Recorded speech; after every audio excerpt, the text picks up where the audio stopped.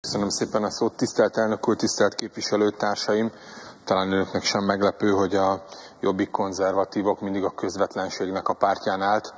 Ezért tartjuk fontosnak azt, hogy a lehető legtöbb kérdésben az emberek közvetlenül mondják el a véleményüket.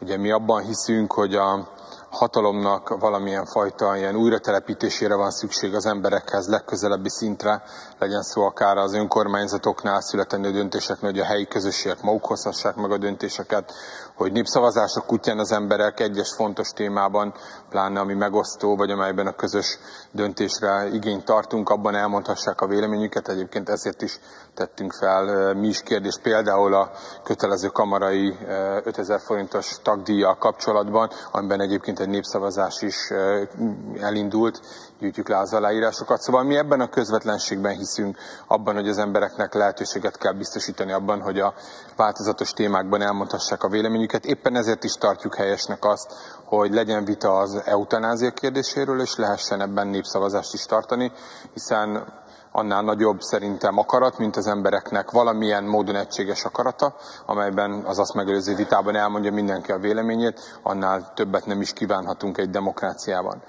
Az persze egy dilemma, hogy egy pártnak milyen mélységben kell megmondani a saját tisztségviselőinek, vagy egyáltalán megmondhatja, hogy mit gondoljanak egyes társadalmi kérdésben, vagy a tagjainak, vagy a szimpatizánsainak milyen véleményt mondhat, és nem árulok el önöknek titkot abban, hogy jobbik konzervatívok egész képviselőinél, de a pártnak a szimpatizánsainál, tagoknál is. Azért ez egy változatos megítélés, hogy az eutanáziáról és annak az egyes stációjáról mit gondolnak, és ahány élethelyzet, ahány emberi tapasztalás annyira eltérő különbség van. Mi nem is teszünk, és nem is tennénk arra kísérletet, hogy ebben a valamilyen fajta egységes kérés legyen, vagy valamilyen fajta egységes gondolkodás, hiszen mi abban hiszünk, hogy Magyarországnak normálisnak kell lenni, nekünk van egy normális Magyarország víziónk, amelyben amiben a szélsőségektől mentesen kell gondolkozni, tehát sem a teljesen kirekesztő, elutasító álláspont nem tűnik teljesen helyesnek, de az sem, hogyha egy teljes liberalizáció irányába mozdulunk el. Az evidencia nálunk, és ebben a konzervatív álláspont determinálja is,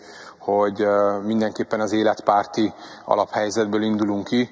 Nálunk a gondolkodás közepe természetesen ez, és innen indul el. Viszont az egyénnek a lelkiismerete a domináns ebben a kérdésben, és mi ide telepítjük ezt a döntési kört. Tehát az, az ami szerintem kristálytisztán látszik, és amelytől nem kell óckodnia a parlamentnek. Az elmúlt időszakban egyébként egymást követő parlamentek mindig elmulasztották a lehetőséget, hogy ebben az eutanázia kérdésében érdemi és hosszú és részletes vitát folytassanak.